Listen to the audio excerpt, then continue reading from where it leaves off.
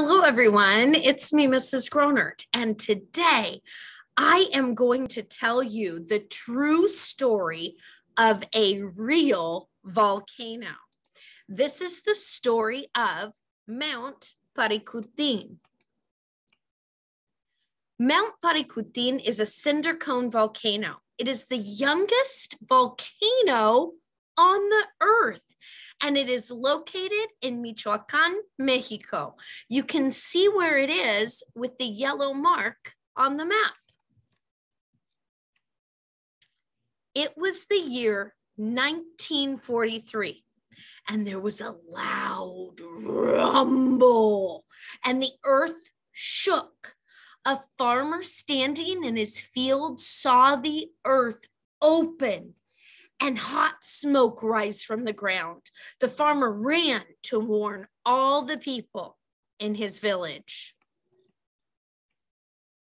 During the night, red hot rocks and ash began shooting out of the crack in the ground. This created a cone shaped mound. The mound grew, and by the next day, it was as tall as a 12 story building. Rocks and ash continued shooting out of the volcano for weeks. The sky became dark as night with the smoke and ash. People could see explosions in the sky coming from the volcano.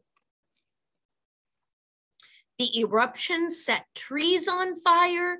The ash covered the fields and homes of people who lived near the volcano. One day, Paricutin began to shoot out lava. The lava poured out of the volcano and destroyed everything in its path. The lava covered the village that was one mile away from the cinder cone. Paricutin kept erupting. And after one year, it had grown to 1,000 feet tall. It buried the town in the village of San Juan Parangaricutiro.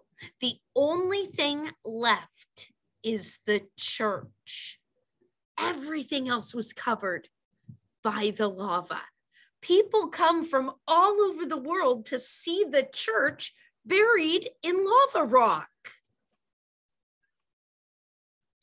Paricutin erupted for a total of nine years.